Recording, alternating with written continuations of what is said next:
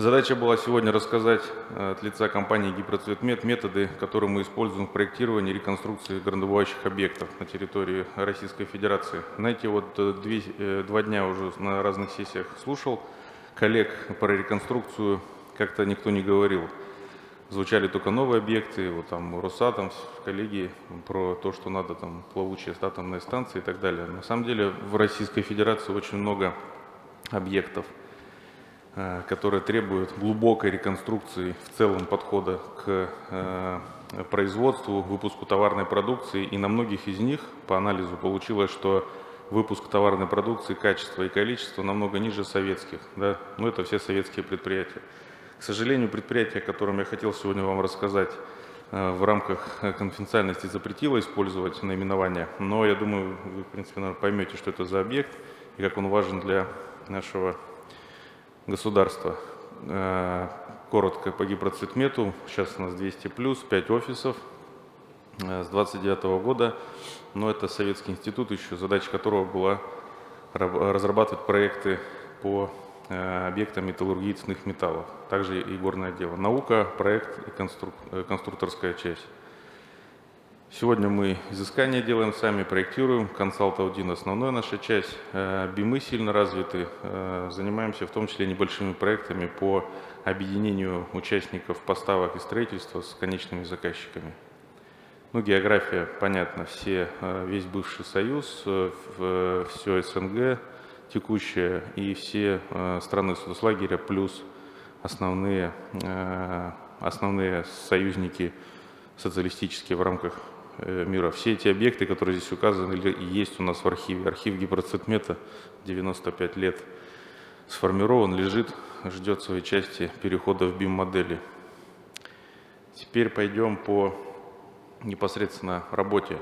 Гипроцветмет с августа месяца стал генеральным проектировщиком вот одного, одного из объектов на территории Российской Федерации. Объект это, это фабрика, рудник, инфраструктура. А, и на этом объекте не существовало и не существует пока до сих пор ничего, а, кроме планшетов э, по геологической информации. Ну так получилось, хотя предприятие очень э, большое э, относительно рынка и выпускает очень важную продукцию. С чего мы начали? Мы выполнили аудит исходных геологических данных и разработали геологоструктурную модель. Разрабатываем. Исходными данными у нас были фондовые опубликованные материалы, в том числе мы не только с архива брали, и собирали и систематизировали информацию, которая находится на предприятии.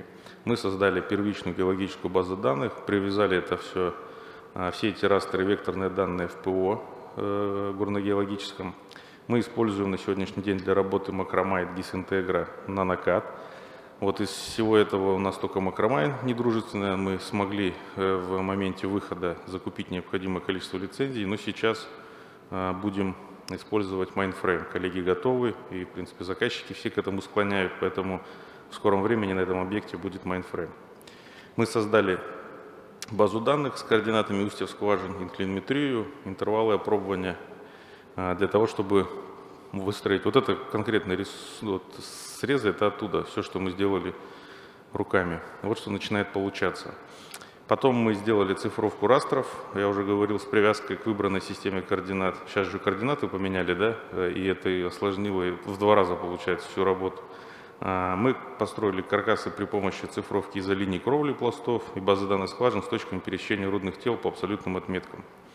А, у нас разработана программа а, по цифровизации всего горно-геологического и гидрогеологического пространства этого предприятия мы э, планируем провести дополнительные геологические, геомеханические, геофизические, гидрогеологические исследования э, в совокупе с тем, что уже выполнено. Справа это шахтное поле, белым это не освоенные еще участки. Значит, э, помимо этого у нас стоит задача разработать новые системы разработки для неосвоенных участков и стоит задача вскрыть месторождение, на месторождении новые участки. Для того, чтобы это сделать качественно, нам необходимо знать тектонику на месторождении, трещиноватость, нарушенность. Это тоже все э, выполняется, используя геодинамическое районирование путем проведения определенных исследований. Идем дальше.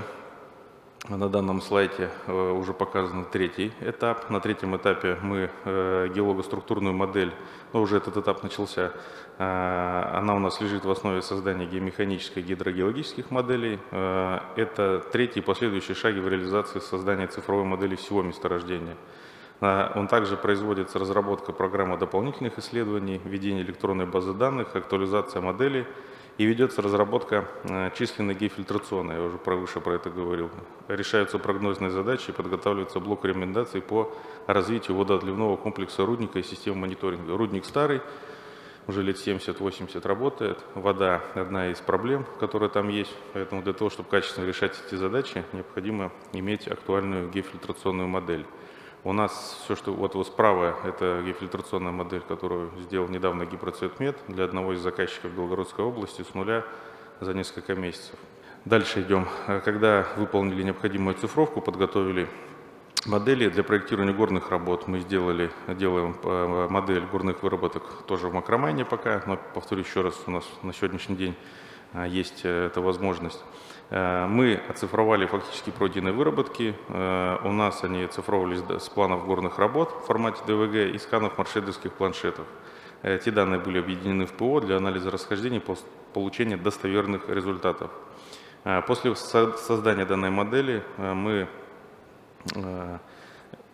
После создания модели ресурсных, э, ресурсной модели рудных тел мы выполнили моделирование проектных выработок и рассчитали объемы горных работ, подготовили календарный план и отработку запаса. Мы используем специализированные модули программного комплекса Макромай для этого. Они сейчас это позволяют делать. На следующем этапе немаловажным элементом является вентиляция рудника, все вы это знаете. Для этого мы используем программу Vensim, и у нас э, сразу вот э, поэтапное создание, проектные выработки и выработки, которые уже фактически используются.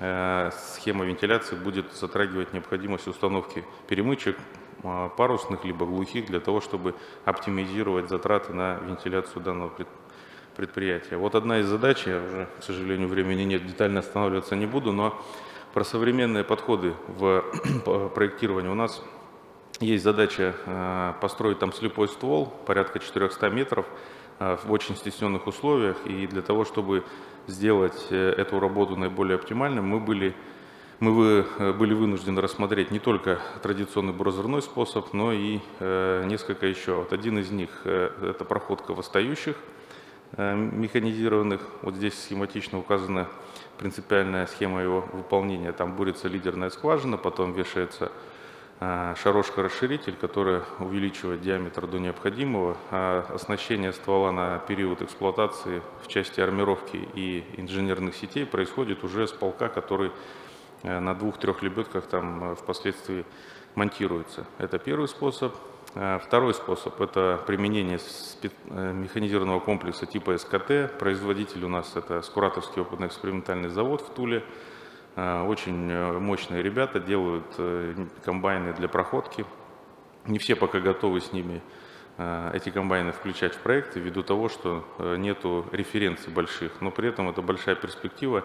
Но использование этих комбайнов, особенно СКТ по твердым породам, оно предполагает наличие многоразового использования. Это одна из задач. Традиционный буразрыв, не буду останавливаться, и пилотный восстающий. Ну, здесь есть э, тоже ряд своих проблем, нюансов технологических, связанных с тем, что очень сложно пробурить лидерную восстающую скважину из нижележащих горизонтов на 300 метров. Там э, специалисты говорят про 100, то есть надо делать э, какие-то заезды. Но сам факт того, что вот подход, связанный с необходимостью использования дополнительных технических решений, обуславливает развитие данного направления в рамках нашей работы. Последнее, вот я много чего убрал, там, говорю, к сожалению, время ограничили. Последнее предложение по системам. Там очень маломощные э, пласты, руды, которые э, используются для получения товарной продукции. На, на сегодняшний день там до сих пор коллеги э, используют ручной труд э, практически везде. В свое время были попытки применить дополнительные Э, механиз... дополнительную механизацию, но все они так или иначе э, были признаны неудовлетворительными по своим качествам и показателям. У нас тоже также стоит задача применения новых видов техники. Вот слева вы видите разработку тонких жил бровой установкой RBM. а справа просто применение новой системы разработки. Гипроцветмет на сегодняшний день имеет возможности и компетенции в части разработки систем, э, параметров систем разработки, даже на таких сложных месторождениях. Поэтому у нас сейчас есть задача определить оптимальную вымочную единицу, определить параметры систем, разделить эти системы по зонам использования. И один из, э, одна из основных задач все-таки стоит, это дать заказчику право выбора, чтобы он мог выбирать из систем, которые обоснованы экономически и технически для дальнейшего использования. Вот. Это очень коротко, к сожалению, да, там без привязки к объекту. С объектом было бы намного предметнее разговор. Спасибо за внимание, спасибо организаторам за приглашение и за возможность выступить. Да.